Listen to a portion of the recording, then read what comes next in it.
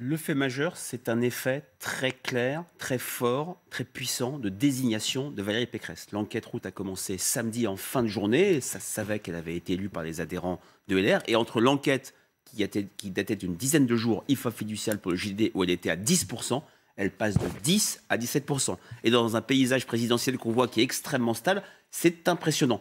Ce n'est pas une vraie surprise, c'est une demi-surprise. Ce n'est pas une vraie surprise parce qu'on sait qu'après une primaire, après une élection, il y a souvent un effet d'impulsion. François Fillon, j'ai retrouvé une enquête IFOP fiduciale de l'IFOP de novembre 2016, avait gagné 9 points. Il était passé de 20... Primaire ouverte. Exact. Primaire ouverte, très important. 20%. 20% mi-novembre 2016, donc quelques jours avant ce premier tour qui avait donné une dynamique incroyable pour François Fillon, 29 début décembre. Et là, on pouvait se dire, ce n'est pas cette primaire ouverte, ce n'est pas ces 4 500 000 personnes qui ont, avaient donné cet effet d'impulsion à François Fillon. À François Hollande en 2011, il avait gagné quelques points. Même à Benoît Hamon, dans notre première vague du rolling 2017, il était à presque 20%. Ça, c'est pas très prometteur pour Valérie Pécresse. Mais, parce que c'est une affaire euh, de début de campagne. Euh, en tout cas, c'est très impressionnant. Elle, est, elle fait jeu égal avec Marine Le Pen. Elle, dans la bataille des droites, des droites extrêmes et des droites radicales, elle devance nettement Éric Zemmour. Et ce qui est très probant, ce qui est très notable, c'est sa capacité à pouvoir mieux rassembler que avant cette primaire. Elle était, je répète, à 10% l'électorat de droite. Alors, peut-être une première remarque, hein, Valérie Nata. La première remarque, c'est que on disait euh, pendant cette primaire, euh, ou ce congrès, euh, on l'appellera comme on voudra, qu'il n'y a pas de désir de droite républicaine. Euh, ce premier sondage que vous nous, que vous nous euh, livrez aujourd'hui prouve le contraire. Il y a quand même une envie chez les électeurs de la droite républicaine d'avoir une championne qui puisse les représenter face à Emmanuel Macron. Ça, c'est la première remarque que je voudrais faire. On regarde la deuxième, la courbe hein, de l'intention de vote au premier tour et de l'évolution. Elle est passée de 10 à 17, Valérie Pécresse, avec, la, avec les résultats. Voilà. La deuxième chose, c'est que Éric Zemmour semble baisser, mais là, je vais parler sous votre contrôle. C'était avant le meeting d'hier. Il n'y a que 20% des personnes interrogées qui ont été clairement, pleinement exposées au meeting, qui ont été, qui ont été interrogées après dimanche 20h. Donc ce n'est pas ça ne prend vraiment que très peu en compte. 80% des sondés ont été euh, faites entre samedi 18h et dimanche 16-17h. Éric Zemmour a parlé à 6h moins le quart, si je ne me trompe pas. Donc euh, voilà, donc il faut bien prendre en compte le moment où l'enquête euh, a été faite. Roland Quérol.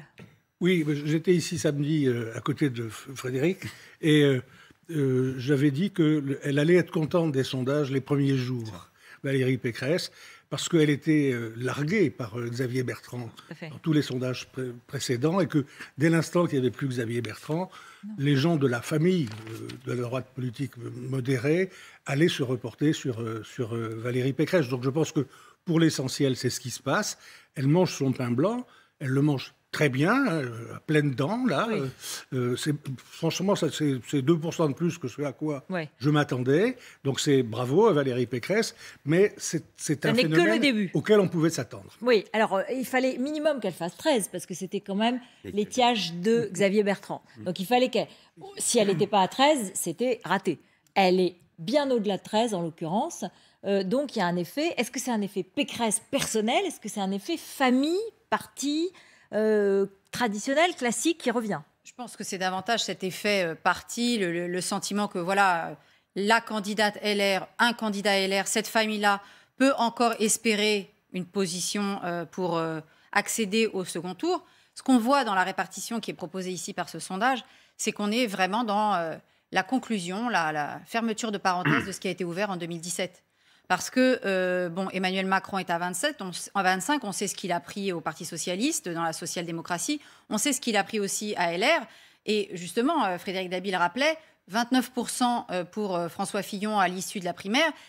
Pécresse, 17%. Donc on voit dans quel état est la droite des LR. Donc c'est une droite qui a tout à reconstruire, mais on ne reconstruit pas ça pendant une campagne présidentielle. Il aurait fallu mieux travailler la reconstruction des LR pendant le, quinquennat qui vient de s'écouler. Enfin, en tout cas, au moins, ils ont sauvé l'honneur parce que quand on regarde par ailleurs Anne Hidalgo, on ne peut pas dire que le Parti socialiste, lui, brille euh, par ses performances. Donc, au moins, LR arrive à 17. C'est quand même, compte tenu de ce qu'ils ont, qu'ils ont vécu pendant 4 ans, où ils ont été complètement pillés par Emmanuel Macron avec euh, le maire, euh, Darmanin, enfin, tous ces LR qui ont fui et qui sont ministres aujourd'hui. Je trouve que c'est un beau score pour ce parti politique qui joue là sa survie. Oui, je considère que c'est un, un bon, voire très bon sondage de début de campagne. Et euh, quand on regarde les catégories dans lesquelles Valérie Pécresse progresse, elle, elle commence peut-être à reconstituer les bases de la droite traditionnelle. J'ai regardé, euh, elle écrase Emmanuel Macron chez les plus de 50 ans. Euh, elle est très forte chez les plus de 65 ans. Plus, Euh, plus 13 points par rapport au 13 JDD. points. Elle bat Emmanuel Macron. C'est la première fois depuis 4 mois, euh, pardon Renaud, que Emmanuel Macron n'est pas en tête chez les personnes Exactement. âgées. Elle, elle- elle bat assez largement euh, Emmanuel Macron chez les dirigeants d'entreprise. Donc là, on peut y voir peut-être la ligne li- plus libérale euh, de Valérie Pécresse. Euh, elle est plus forte qu'Emmanuel Macron dans les communes rurales. Donc on voit que traditionnellement, les communes rurales votent plus forcément à droite. Elle rassemble près de 80% du vote Fillon, 79%. Il reste plus Ouais. que 21%. Donc voilà, les- les- la reconstitution des bases de la droite traditionnelle est peut-être engagée. Après, on va en reparler. Euh, le week-end n'a pas été formidable On pour l'équipe. Pécresse. Et, et donc, mais en tout cas, euh, ils peuvent avoir ce soir le sourire. C'est une Ça- très bonne base de fait- départ. ça fait quand même trois candidats euh, libéraux en économie, c'est-à-dire Emmanuel Macron, Valérie Pécresse, Éric Zemmour. Euh, ce serait quand même compliqué que les classes populaires et les classes moyennes n'aient pas un candidat qui puisse les représenter au Pas second la Bah, française, hein. ils, ils Oui, en bah, ont, libéraux à la ils- française, Ouais. c'est quand même pas. euh, ils des- en ont, des- ils en ont deux, Marine Le Pen. Et Jean-Luc Mélenchon, qui se prétendent et qui Et veulent euh, défendre les couches populaires. Et l'abstentionniste. Et les abstentionnistes. Un mot quand même, pardon, Frédéric Dabi, sur qui euh, qui vote Pécresse là-dedans euh, Renaud le disait, mais est-ce qu'elle prend plus chez Emmanuel Macron ou chez Éric Zemmour dans ceux qui, qui sont euh, dans ce, En tout cas, dans ce chiffre? hein Le, le chiffre clé de ce sondage, c'est et, celui- et chez Marine Le c'est Pen une meilleure capacité à rassembler les 20% de François Fillon de 2017. Elle passe à 54% d'électeurs Fillon, plus 11 points en, a- en à peine une semaine. Elle prend plus d'électeurs, elle fait revenir des électeurs Fillon qui étaient chez Marine Le Pen la semaine dernière. Elle fait revenir des électeurs Fillon qui étaient chez Éric Zemmour. Emmanuel Macron ne bouge pas. Il garde, il était à 17% la semaine dernière, il est à 16% des électeurs Fillon qui choisissent Emmanuel Macron. Par rapport à ce qu'a dit Barbara Lefeuille, qui est très très intéressant, c'est vrai que 17% pour la droite, qu'est-ce que c'est faible? Beaucoup. Euh, Rappelons les 31% de Nicolas Sarkozy en 2007, les 27% en 2012. Il avait perdu, mais il avait fait une très belle campagne. Il y a trois catégories de population que la droite a perdues depuis très longtemps et elles sont, elles sont fondamentales pour Valérie Pécresse. Les jeunes, le salariat, elle n'est qu'à 11% chez euh, les ouais. salariés et les personnes diplômées. Il y a un vrai euh, travail pour les récupérer et la France du travail, la France du salariat, c'est la seule zone de frottement entre Marine Le Pen et Emmanuel Macron. Ils ont des électorats extrêmement complémentaires, on l'a dit ici à plusieurs reprises, mais le salariat, c'est la bataille de la France du travail, c'est ce qui avait permis à Nicolas Sarkozy de faire ce score inespéré en 2007. Alors, un regard, un, un regard sur le deuxième tour, qui est, vous avez testé évidemment aussi. Un deuxième tour Pécresse-Macron, ça donnerait 52% pour Emmanuel Macron et 48% pour Valérie Pécresse. Euh, bon, bah c'est Franchement, bonne base. hein. très intéressant. C'est trois points de plus par rapport à l'enquête fiduciale pour le Figaro et LCI du mois de novembre. Et ce qui est très notable par rapport à ce qu'on vient de dire, Avec Xavier Bertrand, évidemment. C'était Ah avec. non, euh, ah oui, bah, avec on Valérie Pécresse de plusieurs l'époque. reprises, Oui, pardon, Valérie- pardon. On a eu, euh, D'accord. c'est la- ça n'a Vous jamais aviez testé été aussi aussi, Valérie. Alors, Pécresse. on connaît la fragilité d'un second tour, mais il faut regarder par catégorie. Dans les catégories traditionnelles du peuple de droite, Valérie Pécresse l'emporte très nettement. Personnes âgées, dirigeants d'entreprise, artisans et électeurs de droite. Valérie. Non, ce que on, on vient de le dire, les, et Patrick Stefanini nous le disait ici sur ce, sur ce plateau en fin de semaine. Si Valérie Pécresse et son équipe ne parviennent pas à ramener des jeunes Ouais. euh, vers l'électorat et des classes populaires, les salariés, pas simplement des classes populaires, 11, mais les, les- les salariés, etc., elle a une difficulté structurelle qui l'empêchera de concourir éventuellement même pour le second second tour. Donc, euh, Patrick Stefanini s'est s'est exprimé sur. Donc c'est le directeur de campagne de, Oui, de bien sûr. Valérie Pécresse. C'était le directeur de campagne de François, Fillon, Fillon. et le directeur de campagne de Jacques Chirac pour la campagne victorieuse de 95. Exactement. Donc, leur travail maintenant va être d'être sur ces euh, segments marketing, pardon de le dire comme ça. Les jeunes ont déserté depuis un moment euh, les euh, champions euh, des Républicains. Euh, La- et donc, les jeunes, et les La jeunes les urnes, globalement, les urnes. La Oui, dernière les- fois que les jeunes ont placé un candidat de droite en tête, c'est Jacques Chirac en 95. Ouais, et ça le- fait et très le- longtemps. et l'électorat jeune est très présent chez Marine Le Pen aussi. Oui. Je pense qu'il et faut- chez Éric Zemmour. Il faut Je crois que les jeunes, les jeunes qui votent à droite, franchement, c'est- c'est c'est- c'est compliqué. En revanche, là où je suis d'accord, c'est que la France qui travaille, les actifs, Ouais.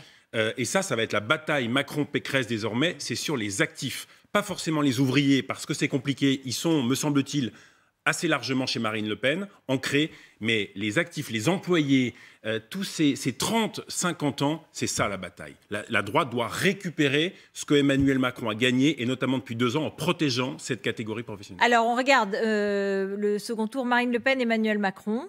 44-56, donc effectivement. Euh... C'était 54-46 la semaine dernière. Ça prend en compte le, recul de Marine Le Pen. Elle perd deux points et demi par rapport au sondage IFOP JDD. Elle était à 19 perd, Tout à fait, 19,5. Zemmour perd 2 points. Nicolas Dupont-Aignan perd 2 points. On retrouve là les 6-7 points que gagne Valérie Pécresse. Elle a gagné vraiment sur le flanc droit. Oui, parce que c'est à droite que ça va se passer. Et du coup, euh, la question va se poser de savoir d'abord comment elle rassemble sa famille et les autres candidats puisque euh, avant même d'aller chercher les salariés, d'aller chercher... Alors, on, voit que Roland Carroll euh, n'est pas d'accord. Non, je ne pense pas exactement comme vous. Oui, mais c'est très bien, c'est pour ça qu'on est là. C'est pour ça que vous êtes là. Je pense depuis longtemps, mais j'ai eu l'occasion de le dire y compris samedi, que le, tour le plus jouable pour Valérie Pécresse, c'est le deuxième tour. Là, il y a une vraie inconnue. Macron-Pécresse, aujourd'hui, ils sont 52-48. Ça veut dire que tout est jouable et, ça se confirme. La droite modérée peut battre Macron dans un second tour. Mais il lui faut passer le premier tour.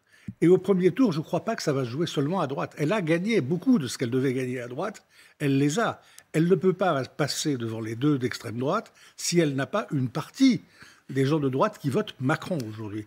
Je crois que la cible principale qu'elle a maintenant, c'est cela. Mais, mais pardon, euh, si on veut continuer notre débat singulier. C'est le débat qu'on a eu avec Frédéric avant de venir. De Roland, hein, Moi, j'ai le sentiment que l'image, l'image qu'elle a aujourd'hui, vous vous souvenez, on l'a présentée, y compris Marine Le Pen ou ses adversaires, même Éric Ciotti, il a pas arrêté de répéter Moi, je n'ai pas voté Macron, sous-entendu. Valérie Pécresse, elle a voté Macron. Donc l'image de la proximité avec Emmanuel Macron, elle l'a déjà. Donc qu'est-ce qu'elle doit conquérir au moins dans un premier temps en image c'est de prouver à la droite qu'elle est, à la droite d'Éric Ciotti, qu'elle est bien au rendez-vous de cette droite-là. C'est pas ça, Ruth, c'est qu'il faut que les gens qui sont, se sont laissés convaincre à droite par Macron depuis 4 ans, parce que ça fait quand même 4 ans qu'il les a, il faut qu'une partie de cela se détache et retourne dans leur famille d'origine. Si elle n'a pas cela, elle ne passe pas deuxième. Et donc, ça se joue à droite, mais dans l'électorat de droite, qui est en partie chez Macron. Mais qui est en partie chez Zemmour aussi. D'où l'enjeu de la passe d'armes avec Éric Ciotti, parce qu'il lui faut à la fois s'arrimer à cette droite-là, avec une ligne euh, sur le régalien assez dure, sans effaroucher les électeurs, on va dire vite fait, centristes, qui sont partis ben chez Emmanuel Macron et qu'elle doit donc tenir, j'adore cette expression, donc j'utilise à chaque fois, les deux bouts de l'omelette. Édouard Philippe jouera forcément un rôle. Parce qu'il va. enfin, je veux dire, qui Emmanuel Macron peut-il envoyer Peut-il envoyer ici? Parce qu'il est en train de créer son parti avec ce réseau. Euh, je veux dire, euh, Édouard Philippe est celui qui est le mieux placé pour commencer à piéger euh, Valérie Pécresse, puis et, tous les ministres, et tous les ministres LR. encore une fois, Bruno Le Maire qui va là bientôt faire un, débat avec, Éric Zemmour. Zemmour. Donc, ils sont envoyés là sur le front pour pour pérenniser cet électorat euh, chez Emmanuel Macron. Mais qu'elle soit dangereuse pour Emmanuel Macron, c'est incontestable. D'ailleurs, euh, on a vu aux réactions dès, hier euh, un certain nombre de responsables de la République en marche qui ont commencé à, canonner. C'est logique, qu'ils ont senti le danger très très vite. Mais non, non, moi je crois que la réserve est plutôt à droite aussi. Parce que la droite orléaniste, le centre droit, je le vois mal récupéré avec le tandem Pécresse-Ciotti. Ciotti est un repoussoir pour cet électorat-là. Est-ce que ça sera attendez, non, non, attendez, la question. Mais, je vais vous donner la réponse dans une seconde. Tout dépend, tout dépend de la façon dont elle va pouvoir avoir de l'autorité sur sa campagne et progressivement se débarrasser des soutiens qui sont des repoussoirs pour l'électorat modéré de centre droit. Et si Éric Zemmour on, en parlera aussi. Il a réussi, de son point de vue, le meeting d'hier, mais il y a eu des violences. Et si progressivement il y a une dynamique Pécresse et qu'une partie électorat dit qu'il faut se débarrasser de Macron, et qu'elle est en dynamique, et eh ben, je peux vous dire que moi j'étais hier au meeting, il y a des gens qui voudront revoter Pécresse en disant avec Zemmour on n'y arrivera pas, il ne peut même pas faire campagne avec, euh, sans les antifs. Alors écoutez, parce que Valérie Pécresse elle a répondu à cette question aujourd'hui, euh, il y a eu un peu de friture sur la ligne, c'était hier, mais aujourd'hui tout allait bien entre elle et Éric Ciotti. Elle est allée dans le Midi, elle a été accueillie au bas de l'avion par Éric Ciotti, elle est allée dans son village Saint-Martin-de-Vésubie. Bah regardez, tout roule, tout baigne. Ce sera un pilier de ma campagne. Vous savez, nous sommes euh, le parti gaulliste euh, et dans le parti gaulliste, euh, il y a un chef, en l'occurrence une chef, et il y a aussi, à côté de ce chef, il y a des personnalités qui, j'allais dire, par leur charisme, par leur conviction, portent des valeurs très fortes qui sont évidemment indispensables pour la victoire. Je veux être à, à ses côtés, avec elle. Ce n'est peut-être pas un hasard s'il y a eu cette configuration au second tour, c'est parce que avec Valérie, nous avions sans doute les projets les plus similaires, les projets les plus audacieux en termes de réforme, de redressement, des valeurs euh, qui s'associent à la droite. Pour moi, être de droite, c'est aimer passionnément la France, c'est aimer son histoire, son héritage, c'est croire euh, en l'ordre républicain, c'est croire en la liberté, c'est vouloir récompenser le travail, c'est combattre euh, le péril islamiste, Bon, voilà. Alors, euh, il a parlé de tandem, Eric Ciotti, mais c'est pas un tandem qu'on élit euh, dans une élection présidentielle. Hein. C'est une incarnation. On se souvient, il y avait eu un tandem euh, de, de faire, de faire, de faire Madès. Ça s'est terminé à 90%. Donc voilà, je pense Parce quand même que c'est une logique d'incarnation de rencontre individuelle. Et en plus, Valérie Pécresse, a, je crois qu'elle a fait, elle va voir. Michel Barnier en Savoie, Xavier Bertrand dans Vendredi dans les Hauts-de-France. Il y, a une sorte de récit qui est je réunis toute la famille, à la différence d'un François Fillon qui avait déserté la scène dès sa victoire et qui n'avait vu personne. Donc là aussi, c'est un contraste par rapport bah, à 2016. Patrick Stefanini, a, il a gardé les leçons, il, a, tiré les leçons de la défaite de Fillon, qui était sur les affaires, mais aussi sur une faille dans le rassemblement et, dans l'implication. avant les affaires. Dans l'engagement dans la campagne. De ce hein. point de vue, c'est très bien que Valérie Pécresse soit allée calmer le jeu avec euh, Éric Ciotti aujourd'hui, puis elle ira demain voir Barnier et après-demain voir euh, vendredi euh, Bertrand. Voilà, très bien. Il faut qu'elle aura fait ses, visites protocolaires. L'important est à partir de là, moi j'avais dit en tout cas à partir de début janvier, elles comprennent que c'est elle la seule candidate et les autres non pas à côté, mm. derrière, dans l'ombre. Mais, je crois que le défi que lui a posé Eric Ciotti va lui permettre justement d'incarner ce qu'elle veut incarner, mmh. c'est-à-dire une autorité.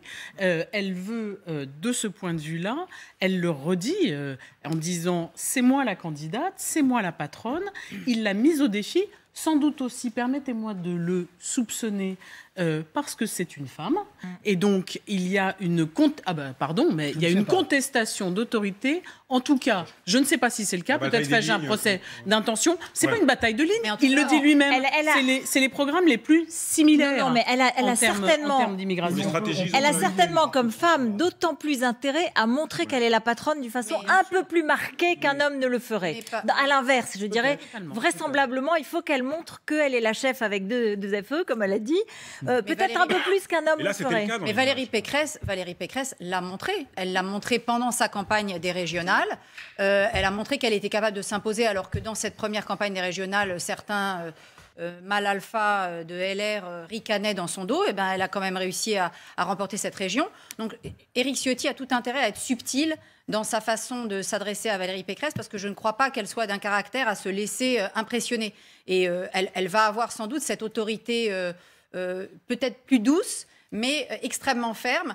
donc je, elle ne fera pas la, la, caporal-chef, mais elle va être très ferme. Et je pense que rapidement, ils vont tous comprendre, comme l'a dit Roland, effectivement, que c'est l'arrière-plan et qu'ils ne sont pas là, effectivement, pour tous pédaler en même temps sur, sur, la bicyclette. Vous avez raison, mais en même temps, voilà, pardon de l'expression parce qu'elle est, elle est évidemment, elle est, mais non, j'ai le sentiment qu'elle doit donner aussi l'impression d'une équipe parce que quelles sont les fragilités d'Emmanuel Macron? C'est un peu l'équipe, c'est le Jupiter, c'est la décision euh, solitaire, etc., etc.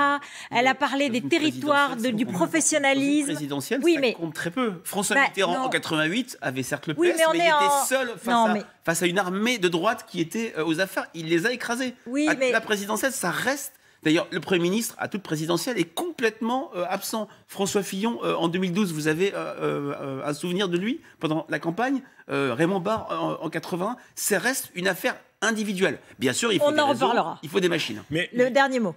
le dernier mot, il y a des coulisses. Là, on parle de l'électorat, mais il y a des coulisses. Est-ce que si elle ne rassemble pas et qu'elle ne traite pas bien les uns et les autres, vous pensez que Laurent Vauquier va laisser facilement Valérie Pécresse gagner? Franchement alors qu'il lui barre la route de l'ambition. Vous pensez qu'Éric Ciotti les soutient Donc euh, voilà, il y a les coulisses aussi de la droite et des haines passées. Euh, il faut aussi traiter les gens.